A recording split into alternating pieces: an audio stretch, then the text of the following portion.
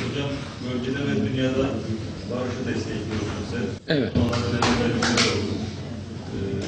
Türkiye Cumhurbaşkanı Sayın Gül mesna getirdi. Evet. Bölgede Türkiye'nin bir Kafkasya İstikrar. Nasıl değerlendiriyorsunuz?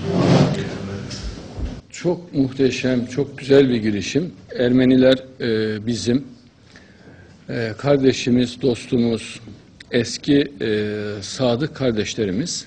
Hatta milleti sadıka deniyor biliyorsunuz. E, Osmanlı döneminde milleti sadıka olarak anılırlardı.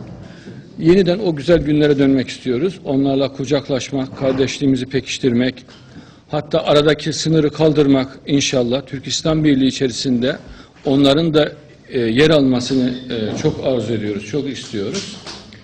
E, inşallah çok hayırlı ve güzel bir girişimdi Cumhurbaşkanımızın girişimi. Devam eder inşallah. Bu tam bir dostluğa, tam bir muhabbete, tam bir kardeşliğe dönüşür.